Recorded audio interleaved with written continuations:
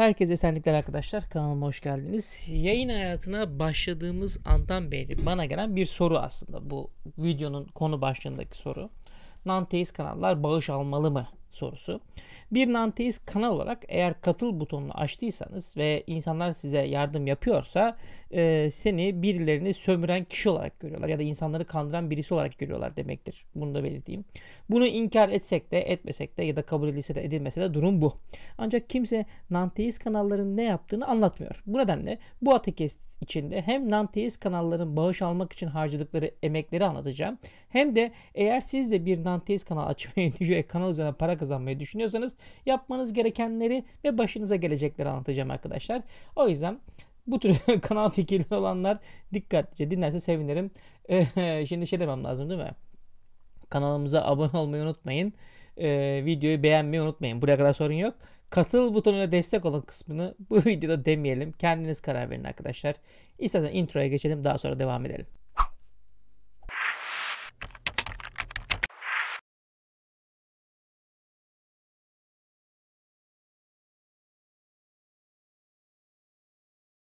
Az önce de belirttiğim gibi genelde yayınlarımla ilgili kısa bir açıklama yaptıktan sonra kanalıma abone olursanız ve videolarımı beğenirseniz bir de bize katıl butonuyla destek olursanız diye başlarım hep. Beni takip edenler bilirler zaten. Aslında benim için bu tür istekler biraz da sıkıntılı şeylerdir. Ancak verilen emek, harcanan zaman çok değerlidir. Ve bu konuda eğer YouTube'a daha fazla önem verilmesini istiyorsak bizi izleyenlerin bizi hem manevi olarak hem de cüzi de olsa maddi olarak desteklemeleri bizim için olumlu bir güçtür. Bu gücü hissetmek isteriz kanal sahipleri olarak. Kanallarımızın daha çok izlendiğini görmek ve bir de destek alabilmek bizi mutlu eder, motive eder ve daha iyi işler çıkartmak konusunda teşvik eder. Ancak bu iş o kadar kolay değil. Birçok kişi sizi belaş para kazanan kişi zannetmeye başlar. Oh açıyor yayını topluyor paraları falan derler. Size bağış yapanlara enayi gözüyle bakarlar. Canlı yayınlar, yayınlarda veya premier yayınlarda size atılan paraları sayarlar. Ve sonunda o çok iyi para kazanıyor falan derler yani. Götürüyor parayı işte. Kemiksiz götürdü diyenler bile var. Yani o kadarını söyleyeyim. Yoksa işin perde arkası hiç de öyle değildir arkadaşlar. Bir non-teist kanal açtıysanız sürekli göz önünde bulunduğunuzu bilmelisiniz. Bu bir. Tabi bu göz önünde olma durumu kanalınızın izlenme oranıyla paralel olarak artacaktır. Eğer bir Efe Aydalsanız ileteceğiniz her şeyi çok daha iyi düşünmelisiniz. Veya bir Diamond tema iseniz izleyenler çok olduğu için verdiğiniz bilgilerin netlikleri çok önemlidir. Bizim gibi kanallar için de durum o kadar olmasa da öyledir. Yani öyle olmaya çalışılır. Yayınladığı her her bir videonun 5 ay önce yayınladığın video ile çalışmasına bile dikkat etmen lazım. Yani bugün yaptığım videonun 5 ay önce yaptığım videoyla çelişmemesi lazım.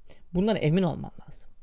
Tabi bu imkansıza yakın gözükse de bence bunun tek bir şartı var. Yani bu kadar çelişki olmadan videolar yayınlayabilmenin tek bir şartı var. O da dürüst olmak. Her konuda dürüst videolar çekiyorsan sağlam iş çıkartıyorsun demektir. Söylediklerinin dürüstçe kaynaklarını iletiyor. Senin görüşüne ters bile olsa bundan çekinmiyorsan bu durumda kimseden çelişki vesaire duymazsın diye düşünebilirsin ama hayır ön yargılı teistler ya da e, seni kıskanan birçok ateistin o çelişki yaptın filan diye olmayan çelişki bile olmayan konuları ya da başkalarına ait düşünceleri ilettiğin için onu bir çelişki zannetmelerini duyabilirsin. Eğer sen de bir nanteist kanal açmak istiyorsan işte şimdiden bilgin olsun yani. Onlar kendi konularında bile sürekli çelişkili oldukları halde senden de aynı çelişkiyi bekledikleri için bulamayınca ne yaparlar? Uydururlar. Eğer dürüstlük ilkesi konusunda hemfikirseniz bu durumda bir Nantes kanal e, açmak için ya da bir Nantes kanal sahibi olmak için yapacağınız ikinci önemli madde de sürekliliktir. Evet sürekli yayınlar yapmalı. Yayın yapmayacağınız zamanlarınızın net olmakla beraber istisnalar hariç izleyicileri sizin yayınlarınızı ve saatlerinizi ezberlemelidir. Bu o kadar kolay değil arkadaşlar. Çok kolay gözüküyor. Değil. Çünkü eğer YouTube üzerinden para kazanamıyorsanız geçmişi, e, geçiminizi başka türlü sağlıyorsunuz demektir.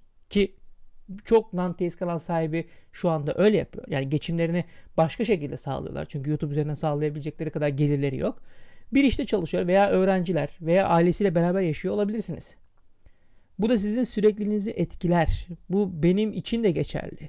Ancak ben kısmen de olsa süreklilik yakaladığımı düşünüyorum. Bu da takipçilerin beni takip etmeleri için bir neden sağlıyor demektir ki öyle oluyor zaten. Süreklilik konusunda halletmeyi başarırsanız ya da başlarsanız o zaman bu camiada yapmanız gereken ilk iş kendi işinize bakmaktır. Evet bu çok önemli arkadaşlar. Elbette birçok kişi bu konuyu ihlal edebiliyor ama kendi işiniz başkalarıyla uğraşmak değilse ihlal etmemeniz gerekir.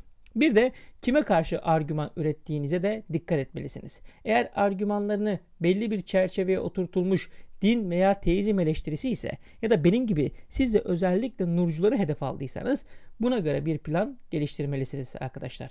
Elbette gelişen olaylar sizi biraz meşgul edebilir. Bu konulara da cevap vermek isteyebilirsiniz. Ama bu yaptığınız ana temayı atlamaya mahal vermemelidir. Bu arada belli bir çerçeve derken bunda çok ciddiyim. Bir formatınız olmalı. En azından ana formatınız olmalı. Bunu yan formatlarla destekleyebilirsiniz. Mesela benim kanalımın ana formatı ateist cevaplar. Yani ate cevap serileri yapıyorum ya onlar. Yani ben YouTube üzerinde özellikle teist argüman videoları yapanlara cevap vermek için bu kanalı açtım. Bu konuda özellikle Sözler Köşkü, Burak Tokur, Enis Tokur gibilerine karşı argümanlar ürettim. Ana formatım bu ve bu formata uygun her şeyi kaçırmamaya çalışıyorum. Bulduğunuz ana formatın ikinci maddede geçen süreklilik kuralına da uygun olması daha da önemli. Yani şey yani e, buldunuz bir format tamam çok güzel ama bunun devamlılığı yoksa sürekliliği yoksa hani 1 2 3 5 anlattın da bu bir sonu gelecek bir formatsa o zaman e, ikinci maddede saydığım süreklilik kuralına uymuyorsunuz demektir. Ya da uymayacaksınız demektir ileride. E, yayınladığınız videoların sayısı bitince. O yüzden ona da uygun yapmanız lazım. Yani benim seçtiğim format ateist cevaplar formatı e, şeyi yok. Yani tükenme imkanı yok. Çünkü sürekli bir şeyler uyduruyorlar. Yani uydur uydur uyduruyorlar. Ya. Onlar uydururken sen video yaparsın. Yani şeyi yok. Ancak Türkiye'de e, bu tür videoların uydurulması biter ki bu şu anda önümüzdeki en azından e, bir 15-20 sene belki de 50 sene içinde zor gözüküyor. E, o zaman siz de bitersiniz. Ama bu zor gözüküyor. Neyse. Şimdi gelelim neden ben bunları anlatıyorum. Eğer bugün gerçekten bu özelliklere sahip bir nanteist kanal izliyorsanız yani az önce saydığım özelliklere ait bir nanteist kanal izliyorsanız bilin ki o kanalın yayınlarından daha fazla mesaisi var demektir. Süreklilik sağlamak adına her video için en az 2 veya 3 gününü harcıyor. Sonra yayınını yapıyor. Sonra da onu hazırlıyor demektir. Eğer canlı yayın yapıyorsa bu durum size daha kolay gelebilir. Evet Nanteist kanallar içinde bu kadar kolay yayını yapan kanallar da var. Bunu da biliyorum yani. Her canlı yayında çıkıyorlar karşı kamera karşısına A partisine veriyorlar da veriyorlar. Veriyorlar da veriyorlar. Bu ilk başta birilerinin ilgisini çekse de sonunda tamam anladık da başka bir şey yok bu dedirtiyor insana. Ama kanal sahipleri öyle düşünmüyorlar. Onlar kendi eleştirdiği partiyi eleştirmeden e, yayın yapan ve işine bakanları karalıyorlar. Yani hatta o partinin mensubu bile yapıyorlar. Sen, sen şu particisin. Niye? E çünkü onu eleştiren yayınlar yapmıyorsun falan bile diyenleri var. Oysa siz sürekli bir parti eleştiriciliğinin bir yere varamayacağını düşünüyorsunuz. Bir parti yerden yere vurursun 1, 2, 3, 5, 10, 20. E bir, bir sonu var da bunun. Yani bunun bir sonu gelmeli. Bu aslında dinler için bile böyle. Yani tekrara düşmek durumu söz konusu olabiliyor bu tür konularda. O tür kanalların yayınları hem çok kolay. Çok kolaylar ya açıyorlar bir tane canlı yayın. Aa, tamam işte e, haberlerden derledikleriyle değil mi? Açıyor haberler. Bunda bunu yapmış burada yapmıyor. Bilip bilmeden e, doğru bile olsa yine de bilip bilmeden eleştiriyor. Hem de sürekli işte belli maddeler üzerinden ilerliyor. İşte burada hani abone sayıları fazla da artmıyor. Çünkü insanlar bıkmışlar aynı şeyleri dinlemekten ama kanal sahibinin başka bir vizyonu yok ki. Ne yapacak yani? Bu nedenle süreklilik konusunu kısır bir döngü, döngü içinde bırakmamanız gerekiyor. Bu da emek istiyor arkadaşlar. Bir nanteist kanal bir canlı yayın yapacakken bile 24 saat konuya çalışmak zorundadır. Bunu yapmak için kaynak araştırmak, konuyu ve konuk veya konuk varsa konuyu irdelemek gibi iş görevleri vardır. Sizin bir veya iki saat izlediğiniz o yayını yapabilmek adına kişi saatlerini harcıyor demektir. Eğer canlı yayın değil bir de konu anlattığı videolar var ise bu durum daha da uzuyor. Canlı yayın açmak kolaydır ama yönetmesi zordur. Yayınların da yönetmesi daha kolay olsa da içeriklerini doldurmak zordur. Eğer bir canlı yayın açtıysanız belli bir konu üzerinden soru cevap gidebilirsiniz. Eğer bir de konunuz varsa işiniz daha kolaylaşır ama hala çok zordur. Çünkü konuyu çalışmalı, konuyu çalışmalı, soru üretmelisiniz. Yoksa yayın kısır döngüye düşüyor konuk ve konu çalışmasından sonra eğer tek başınıza yayın yapıyorsanız işte o zaman daha da iyi hazırlanmanız gerek. Yani konuk yoksa bir de bir de daha iyi hazırlanmanız daha da yandınız demektir yani. Yayın genellikle durgun, durgunluklarla, sessizliklerle geçebilir. Ee, ara ara benim konuklu yayınlarında bu duruma düştüğüm bile oldu. Mesela konuklu yayınlarında ya adama soru soruyorsun. E, adam e, evet öyledir diyor. Yani e bitti. Konu bitti orada. Yani anlatabildim mi? Bir de bu durum söz konusu. O konu o konuyu canlandırmanız, onu irdelemeniz, üstüne üstüne gitmeniz gerekirse sizin bilgi katmanız gerekiyor. Bunu yapabilecek vizyonunuzun, bilgi birikiminizin olması için de çalışmanız gerekiyor o konuya. Her türlü konuda video yapabilirsiniz. Yani bir de hadi diyelim ki e, geçtik hani e, bu şeyleri. Yani bir Nanteist kanalda başarılı bir canlı yayın izliyorsanız bilin ki bunda bir tecrübe var demektir ki ben de yayın yaptıkça tecrübelendikçe bunları daha net görmeye başladım. Ayrıca bir de yayına tek başına çıkma durumu söz konusu. Bunu genelde e, yapabilen e, yayıncı sayısı çok fazla yok. Tek başına çıkmak, iç konu kalmadan tek başına çıkmak gibi. Yani tek başına çıkan kişi bir veya iki saat boyunca kendisiyle konuşuyor demektir arkadaşlar. Bunun farkında mısınız? Yani kamera var. Karşınızda siz aslında kendinizle konuşuyorsunuz. Kendinize konuşabilmeniz lazım. Bir anlamda tetikleyici de yöneten de sizsiniz.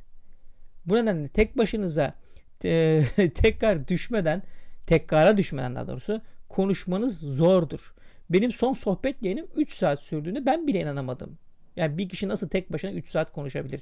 Yani 3 saat kendinize tek başınıza konuşmayı bir denesenize. evet 30 tane yorum okumuştum o yayında ama e, bu performans biraz tecrübe ister arkadaşlar. Yani kendim şey yapmak için söylemiyorum ama e, ben de yani ilk bu kanal işlere başladığımda 3 saat konuşabileceğimi hiç zannetmiyorum yani. Çok zor. Hani bir saat falan hani yorum okursun geçersin. O yorumlara cevaplar vermek, o verdiğin cevapların içerisinde çalışmak. O cevaplara çalışmanız lazım bir de. Yani cevaplar nereden geliyor? 30 tane yorum aç, 30 tane yorum oku kapat. Tamam hadi bitti. Hadi bakalım güle güle. Yani bir non-teist kanal açtıysanız o performansa doğuştan bir yetenekle gelmeniz gerekebilir bile. Yani hani bende vardır diye söylemiyorum ama bu bile olabilir yani. Çünkü çok zor bir şey. Bu durumda yani böyle bir kanala böyle bir non-teist kanal gördüyseniz yani yayın açıyor, tek başına yayın açıyor, konuklu yayınlar açıyor ya da ne bileyim bunları yapmıyor. Güzel videoları var, çalışıyor, kaynak çalışıyor, videolarını yayınlıyor. Arada işte sohbet yayınlar açacak, orta soru cevap yapıyor. O cevap sorulara cevap veriyor. Yani bir emek veren bir e, kanal görürseniz non-teist olsun olmasın fark etmiyor ki zaten. Destek olmak konusunda tereddüt yaşıyorsanız bu kanalın yaptığının çok değerli olduğunu bilmeniz gerekir. Sadece benim kanalım açısından değil. Ne kadar zor olduğunu öğrenmek istiyorsanız arkadaşlar siz de bir kanal kurun. Gerçekten söylüyorum. Yani sonunda şu şeye varacaksınız. Ulan ne kadar zormuş. Çok zor. Yani bu bir de gündelik hayatınızla beraber idame ettirmeniz çok zor. Yani tek işiniz YouTube'da video yapmaksa bu biraz daha rahatlatabilir sizi. Ama bir de bunun dışında gerçek bir hayatınız var. Yani e, o hayatla beraber idame ettirebilecek şekilde yayın planlaması yapmanız lazım. Video planlaması yapmanız lazım. Lan ben bunu nereye sıkıştıracağım demeniz lazım. Gidiyorsunuz. Yani tüm bunların dışında bir de video yayınlarınız var. O daha da zor. Kaynak araştırmanız gerekiyor. Eğer kaynak araştırmak konusunda tecrübeniz yoksa o zaman iki seçeneğiniz var demektir. Bak bu daha da zor bir konu. O yüzden bunu altını çizerek söylüyorum. Yani kaynak araştırmak. Bir kaynak araştırmayı öğrenmek için o zamana kadar e, eğer kaynak araştırmayı bilmiyorsanız susmanız daha iyidir. Ama şunu da yapabilenler var. Yani ikinci bir seçenek. Birçok kişi bunu yapıyor. Açıyorlar Wikipedia'dan. O Wikipedia'dan video çıkartıyor da. Yani siz de açarsınız Wikipedia oradan yayın yaparsınız. Çıktı böyleleri. Kürt tarihi konusunda bana ders vermek isteyen adam Wikipedia'dan Kürtler ne zaman Müslüman olduğu konusunu aldı okudu canlı yayında ya. Bu. evet buna da cevap verdik derler sonra da. Yani cevap verdim sana. Nasıl? Wikipedia'yı okudum. Yani bu, bu, bu cevap vermek değil. Bu kolaya kaçmak veya çaylaklık denir buna. Okuduğu Wikipedia'nın kaynaklarına bile bakmamıştı. Ki bakmayanlar var. Eğer siz de kolay yoldan video yapmak istiyorsanız bakın size bir öneri. Yani böyle ben video yayınlar yapmak istiyorsam öğrenir. Wikipedia ve İslam ansiklopedisini açıyorsunuz. Bununla ilgili bir harman yapıyorsunuz böyle ya da birkaç ansiklopedik veri ulaşabileceğiniz ansiklopedik veri varsa bir harman yapıyorsunuz. Sonra bir yayın yapıyorsunuz. Ama kalite yani kaliteden ne kadar bahsedilir bilemiyorum. O görsel efektler falan koyarsınız herhalde. Yani işte bu tür işin hokkabazlığına kaçmadan yayınlar yapan bir kanal görürseniz inanın birçok okuduğu kitabı bile yeniden okuyor demektir. Sizin izlediğiniz o 15-20 dakikalık video için günlerini harcamış demektir. Üstelik saatlerce çalışarak. Bu kişi aynı zamanda evini geçindirmek zorunda ise bu durumda bu kanala bağış yapmak gerekir mi? Sorusunun cevabını size bırakıyorum yani. yani verdiği emeğe bakın gerekir mi cevabını siz verin. Bu nedenle işi kolayına kaçmadan, düzgünce, dürüstçe ve sürekli yapan kanalların elbette bağışları hak ettiğini düşünüyorum ben şahsen. Sadece kendi kanalım için falan iletmiyorum. Birçok kanal bunu hak ediyor. Bu kanalların sizin desteğinize çok ihtiyaçları var. Ben benden daha az abonesi olan ve emeğini sergileyerek göstermek isteyen bu tür kanallara reklam vesaire konusunda destek olmayı çok istiyorum. Size düşen de onlara elinizden geldiği kadar maddi destekte bulunmaktır. Bakın benim kanalımda aylık üyelik 5 TL'dir. Siz bu ödemeyi yaptığınızda ise 3.4 TL civarında bir para gelir yaklaşık olarak bana. Sonra bundan da vergiler vesaire kesilir. Yani 3 TL falan vermiş olursunuz. Yani YouTuber 3 TL falan kazanmış olur. Aslında aynı zamanı harcayarak çok daha fazla para kazanılabilir ama tek sorun para da değildir aslında. Bağışlar ve kazançlar elbette önemlidir. Bir kanal için ki ya, çok önemli bir şeydir bu herhangi bir kanal için. Ee, buna biz de dahiliz. Hayati önem arz, arz etmektedir ama tek mesele değildir para. Aynı zamanda insanlara bir şey öğretmek de gerekir. Bu nedenle bu konuda da bir bakış açısı sunmak istiyorum ben. Bizlerin yaptığı yayınlarla birçok konuda, konuda aydınlanmış insanlar olduğunu düşünüyorum. Atatürk'ü, din gerçeğini ve ateizmi birçok genç insana ve öğrenciye aktarıyoruz burada.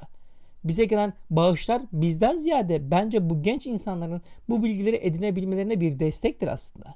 Çünkü hayat şartlı, şartlarının zorlukları ve maddi sıkıntılar bizlerin yayın yapmasını engellemeye başladığında birçok kişinin bu konularda bilgi edinebilmesi ne yazık ki böyle bazı işte neo nurcu kanallara, dinci kanallara vesairelere kalacak. Yani Atatürk'ü bir numaralı Atatürk düşmanı olan Said Şakirtlerinden öğrenecekler. Dini ve ateizmi para sorunu yaşayamayan o gruplar anlatacaklar. Onlar güçlüler. Onların kaynakları çok daha büyük ve imkanları çok daha ileri düzeyde. Bizim tek bir kaynağımız var. O da sizsiniz. Biz susarsak ne yazık ki bizimle beraber e, çok kişi susmakla kalmayacak. Çok kişi de konuşmaya başlayacak. Bizlerin varlığı o gruplara bir darbedir aslında. Bu nedenle yapabiliyorsanız katıl butonuyla destek olun. Eğer yapamıyorsanız abone olun, videoları beğenin ve paylaşın. Bizim gibi kanalları yaşatmak birçok insana faydalıdır arkadaşlar. O yüzden bu atakesti yaptım aslında. Ee, bununla ilgili eğer düşünceleriniz vesaire varsa yorum olarak yazarsanız sevinirim. Bazıları diyecek ki Ay kendisine para kazanmak için atakestem yapmış falan. Hiç alakası yok. Bu sebep bu atakesten dolayı bana destek yapın vesaire demiyorum. Ama bu piyasada gerçekten yani insanlara bazı gerçekleri öğretmeye çalışan kanallar varsa onları destekleyin arkadaşlar. Çünkü başka çaremiz yok. Ne yazık ki başka çaremiz yok. Kendinize iyi bakın. Hoşçakalın.